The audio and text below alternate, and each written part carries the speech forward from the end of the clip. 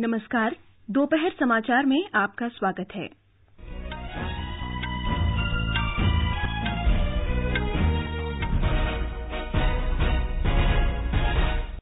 प्रधानमंत्री नरेंद्र मोदी ने आज़ाद हिंद सरकार की पिचहत्तरवीं वर्षगांठ पर लाल किले में राष्ट्रीय ध्वज फहराया। कहा, देश की संप्रभुता को चुनौती देने वालों को मुंहतोड़ जवाब दिया जाएगा। प्रधानमंत्री ने राष्ट्रीय पुलिस स्मारक राष्ट्र को समर्पित किया। जम्मू कश्मीर में कुलगाम ज़िले के लारू में सुरक्षा बलों के साथ मुठभेड़ में तीन आतंकवादी ढेर, दो सैन्यकर्मी घायल। राज्यों और केंद्र शासित प्रदेशों के सत्र न्यायालय बेनामी संपत्ति के लेन देन के मामलों की सुनवाई विशेष अदालत के तौर पर करेंगे। ब्रिटेन में लाखों प्रदर्शनकारियों ने ब्रेक्जिट के अंतिम समझौते पर जनमत संग्रह की मांग की। और खेलों में भारत और वेस्टइंडीज के बीच पाँच मैचों की एक दिवसीय क्रिकेट श्रृंखला के पहले मैच में गुवाहाटी में भारत का टॉस जीतकर गेंदबाजी का फैसला। डेनमार्क ओपन बैडमिंटन में आज महिला सिंगल्स फाइनल में साइना नेहवाल का मुकाबला ताइवान की ताई ब्लू यिंग से।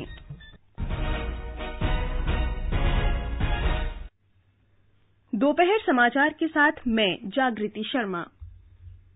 प्रधानमंत्री नरेंद्र मोदी ने आज़ाद हिंद सरकार के गठन की पिचहत्तरवीं वर्षगांठ पर आज दिल्ली के लाल किले में आयोजित समारोह में राष्ट्रीय ध्वज फहराया और आज़ाद हिंद सरकार की स्मृति में एक विशेष पट्टिका का अनावरण किया। इस महत्वपूर्ण ऐतिहासिक आयोजन में इंडियन नेशनल आर्मी के लालती राम, नेताजी सुभाष चंद्र बोस के भतीजे चंद्र कुमार बोस, संस्कृति मंत्री महेश शर्मा और ब्रिगेडियर आर एस चिक्करा तथा अन्य गण्यमान्य व्यक्ति मौजूद थे। इस अवसर पर प्रधानमंत्री ने कहा कि आज़ाद हिंद सरकार केवल नाम की सरकार नहीं थी, बल्कि नेताजी के नेतृत्व में इस सरकार ने सभी क्षेत्रों से संबंधित कार्यक्रमों का सृजन किया था। उन्होंने कहा कि नेताजी सुभाष चंद्र बोस का एकमात्र उद्देश्य था भारत की आज़ादी। आज़ाद हिंद सरकार के पहले प्रधानमंत्री के रूप में शपथ लेते हुए नेताजी ने ऐलान किया था। कि इसी लाल किले पर एक दिन पूरी शान से तिरंगा लहराया जाएगा। आज़ाद हिंद सरकार, अखंड भारत की सरकार थी, अविभाजित भारत की सरकार थी। मैं देशवासियों को आज़ाद हिंद सरकार के 75 वर्ष होने पर बहुत बहुत बधाई देता हूँ। श्री नरेंद्र मोदी ने कहा कि भारत विकास के पथ पर अग्रसर है, लेकिन उसे अब नई ऊंचाइयों को छूना है। श्री मोदी ने कहा कि देश की सैन्य शक्ति हमेशा से आत्मरक्षा के लिए रही और रहेगी, लेकिन अगर भारत की संप्रभुता को किसी प्रकार की चुनौती मिलती है तो उसका मुंहतोड़ जवाब दिया जाएगा। जोश जुनून और जज्बा, ये तो हमारी सैन्य परंपरा का हिस्सा रहा ही है। अब तकनीक और आधुनिक हथियारी शक्ति भी उसके साथ जोड़ी जा रही। हमारी सैन्य ताकत हमेशा आत्मरक्षा के लिए ही रही है और आगे भी रहेगी। हमें कभी किसी दूसरे की भूमि का लालच नहीं रहा। हमारा सदियों से इतिहास। लेकिन भारत की संप्रभुता के लिए जो भी चुनौती बनेगा, उसको दो गुनी ताकत से जवाब मिलेगा। प्रधानमंत्री ने कहा कि सशक्त बलों में महिलाओं की समान भागीदारी की नींव नेताजी सुभाष चंद्र बोस ने रखी थी। आज़ाद हिंद सरकार का गठन 21 अक्टूबर 1943 को आज़ाद हिंद सरकार के नेता सुभाष चंद्र बोस की प्रेरणा से किया गया था। वे भारत की निर्वासित अस्थायी सरकार के राज्याध्यक्ष थे।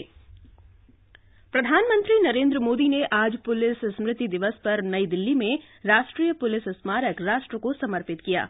ये स्मारक आज़ादी के बाद से पुलिसकर्मियों के सर्वोच्च बलिदान की स्मृति में बनाया गया है। श्री मोदी ने शहीद पुलिसकर्मियों की स्मृति में श्रद्धा सुमन अर्पित किए गृहमंत्री राजनाथ सिंह, वरिष्ठ भाजपा नेता लालकृष्ण आडवाणी, गृह राज्य मंत्री किरेन रिजिजू और हंसराज अहीर, गृह सचिव राजीव गाबा और केंद्रीय अर्धसैनिक बलों के प्रमुखों ने भी शहीदों को श्रद्धांजलि अर्पित की। इस अवसर पर प्रधानमंत्री ने कहा कि सजग पुलिस बलों ने भय और असुरक्षा का माहौल फैलाने की साजिश करने वालों को विफल कर दिया है। ये आप सभी की सजगता का ही परिणाम है कि देश को अशांत करने वाले तत्वों को निराशा हाथ लगती है। देश में डर और असुरक्षा का माहौल पैदा करने की अनेक साजिशों को आप नाकाम किया। ऐसी साजिशें जिनकी जानकारी भी बाहर नहीं आ पाती। ऐसी दिलेरी जिस पर सार्वजनिक तौर पर कभी आपको प्रशंसा तक नहीं मिलती। शांति से गुजरने वाला देश का प्रत्येक पल, देशवासियों का प्रत्येक पल, आपके इसी कर्तव्य भाव, सेवा भाव से ही संभव है। प्रधानमंत्री ने कहा कि आज के दिन उस जवान को याद किया जाता है जो जम्मू कश्मीर में कानून व्यवस्था और शांति बनाए रखने में मदद कर रहा है तथा आतंकवाद से लड़ रहा है। नक्सल प्रभावित इलाकों में तैनात जवानों को याद करते हुए श्री मोदी ने कहा कि इन जवानों के कारण ही नक्सल प्रभावित जिलों की संख्या कम होती जा रही है और युवा मुख्यधारा में शामिल हो रहे हैं। अगर आज नक्सल प्रभावित जिलों की संख्या कम हो रही है, उन इलाकों के ज़्यादा नौजवान मुख्य धारा से जुड़ रहे हैं तो इसमें आपके प्रयासों भी बहुत बड़ी भूमिका है। नॉर्थ ईस्ट में डटे हमारे साथियों का शौर्य और बलिदान भी अब शांति के रूप में हम अनुभव कर रहे हैं। शांति और समृद्धि का प्रतीक बन रहे हमारे उत्तर पूर्व के विकास में आपका भी योगदान है। प्रधानमंत्री ने आपदा राहत में सराहनीय योगदान के लिए पुलिस और अर्धसैनिक बलों के लिए नेताजी सुभाष चंद्र बोस के नाम पर वार्षिक पुरस्कार की घोषणा की। इस स्मारक का निर्माण नई दिल्ली में छह एकड़ से अधिक भूमि पर किया गया है। स्मारक पर चौंतीस हज़ार आठ सौ चवालीस शहीद पुलिसकर्मियों के नाम अंकित हैं। प्रधानमंत्री ने इस अवसर पर पुलिस संग्रहालय भी राष्ट्र को समर्पित किया। ताज़ा समाचार जानने के लिए आप हमारे Twitter handle at AIR news Hindi को फॉलो कर सकते हैं। आप हमारी website news on AIR dot NIC dot I N पर भी लॉग इन कर सकते हैं। भाई बड़ी ज़ोर से लगी है यार। कोई नहीं आओ कोई पब्लिक टॉयलेट ढूंढ ले। अरे भाई अब टॉयलेट कहाँ ढूंढेंगे?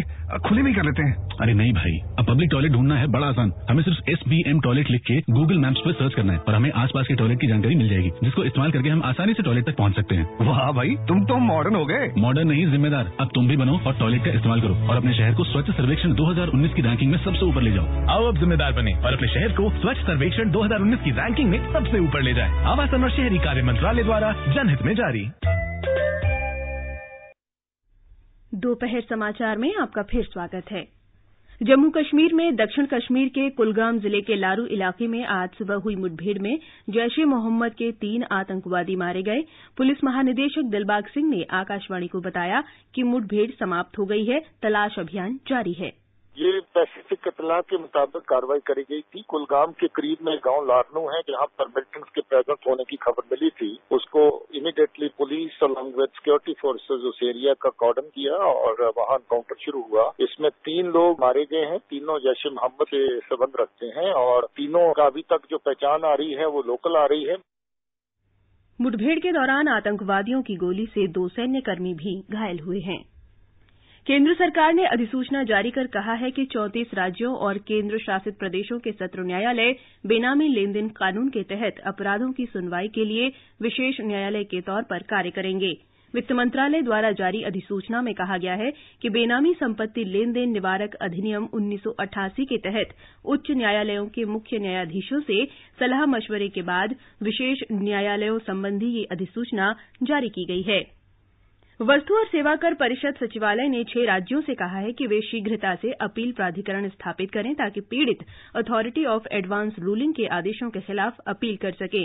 वस्तु और सेवा कर परिषद सचिवालय ने दिल्ली, पंजाब, मध्य प्रदेश, अरुणाचल प्रदेश, मणिपुर, जम्मू और कश्मीर तथा पुद्दचेरी को पत्र लिखकर उनसे appellate authority for advance ruling की जल्द से जल्द स्थापना के लिए कहा है। सरकार ने कहा है कि आयुष्मान भारत प्रधानमंत्री जन आरोग्य योजना के तहत देशभर में एक महीने से भी कम समय में गंभीर बीमारियों से पीड़ित एक लाख रोगियों ने चिकित्सा लाभ प्राप्त किया है। स्वास्थ्य मंत्री जगत प्रकाश नड्डा ने एक ट्वीट में बताया कि मध्य प्रदेश के रीवा शहर में एक छियालीस वर्षीय व्यक्ति इस योजना का एक लाखवां लाभार्थी बना। केंद्र सरकार की बेटी बचाओ, बेटी पढ़ाओ योजना पूर्वोत्तर राज्य नागालैंड में ज़ोर पकड़ती जा रही है। इस योजना का उद्देश्य बालिकाओं की सुरक्षा सुनिश्चित करना, उन्हें शिक्षित करना और समाज में उनकी भागीदारी लाना है। पेश है हमारे कोहिमा संवाददाता की ग्राउंड रिपोर्ट। लिंगानुपात में कमी के कारण लोनलेंग ज़िले में बेटी बचाओ बेटी पढ़ाओ कार्यक्रम 2015 में लागू किया गया था। ये कई परिवारों के लिए फ़ायदेमंद साबित हुआ है क्योंकि उन्हें बालिका और इसकी शिक्षा के महत्व के बारे में जागरूक किया गया है। तंगा गाँव की श्रीमती कुपनायू ने जागरूकता अभियान से जो कुछ सीखा उस पर अपना अनुभव साझा किया। बेटी बचाओ बेटी पढ़ाओ ट्रेनिंग दी बीबीबीपी ट्रेनिंग से मैं समझ गई हूँ कि बालक और बालिकाओं में कोई अंतर नहीं रखना चाहिए। समाज और शिक्षा की दृष्टि से दोनों में कोई अंतर नहीं रखना चाहिए यहाँ तक कि संपत्तियों का बंटवारा भी समान रूप से होना चाहिए आजकल जो लड़के करते हैं लड़कियाँ भी उतना ही करने में सक्षम हैं। बहुत सी महिलाएँ पुरुषों से आगे जा रही हैं। इस कार्यक्रम को सफल बनाने के लिए राज्य सरकार ने बारीकी से रणनीति तैयार की है जिसके कारण इस योजना के कार्यान्वयन में तेज़ी आ गई है साथ ही योजना की गुणवत्ता में परिवर्तन हुआ है। सरकार के इन प्रयासों से राज्य के बालिका और महिलाओं की सामाजिक स्थिति उन्नत होगी। आकाशवाणी कोहिमा से आसुनुओं की रिपोर्ट के साथ समाचार कक्ष से विशाल शर्मा। ये समाचार आकाशवाणी से प्रसारित किए जा रहे हैं। चली चली। चली चली से हट की हवा चली चली। सेवा और सुविधा होगी। अब हर दुविधा होगी। अस्पताल रखेगा गया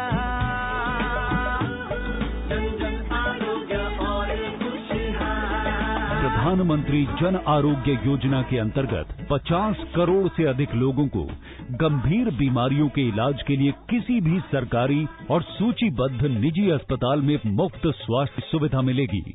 और प्रति वर्ष प्रति परिवार को पाँच लाख रुपए तक का स्वास्थ्य लाभ।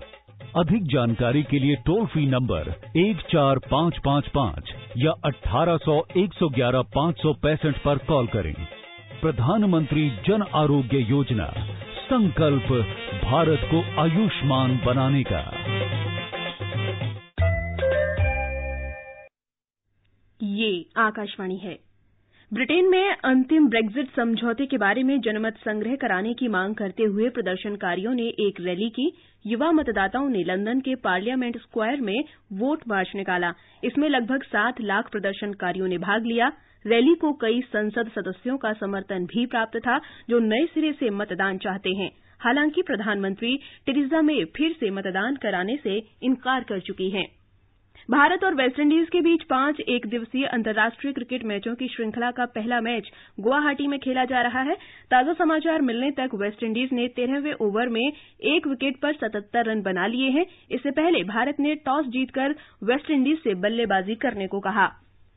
डेनमार्क ओपन बैडमिंटन टूर्नामेंट के फाइनल में आज साइना नेहवाल का मुकाबला शीर्ष वरीयता प्राप्त चीनी ताइपे की ताइबजू यिंग से होगा। कल ओडेंस में सेमीफाइनल में उन्होंने इंडोनेशिया की ग्रिगोरिया मरिस्का तुनजुंग को महज तीस मिनट में पराजित किया।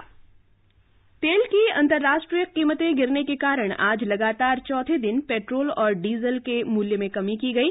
सरकारी तेल कंपनियों द्वारा जारी अधिसूचना के अनुसार पेट्रोल की कीमत में 25 पैसे और डीजल की कीमत में 17 पैसे प्रति लीटर की कटौती की गई।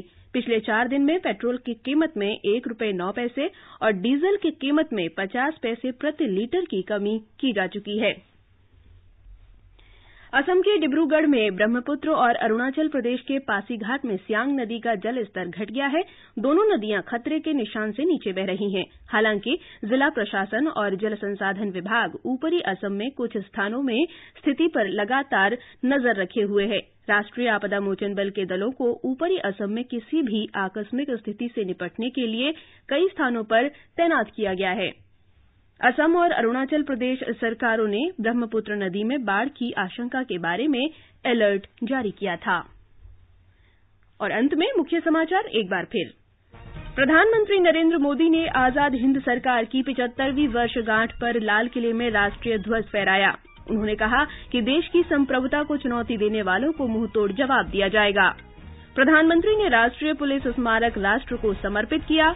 जम्मू कश्मीर में कुलगाम ज़िले के लारू में सुरक्षा बलों के साथ मुठभेड़ में तीन आतंकवादी मारे गए हैं और दो सैन्यकर्मी घायल हो गए हैं।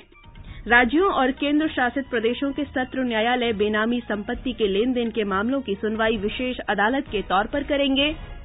ब्रिटेन में लाखों प्रदर्शनकारियों ने ब्रेक्जिट के अंतिम समझौते पर जनमत संग्रह की मांग की है।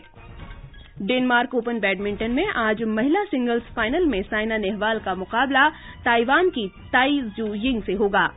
इसके साथ ही दोपहर समाचार का ये अंक समाप्त हुआ। नमस्कार।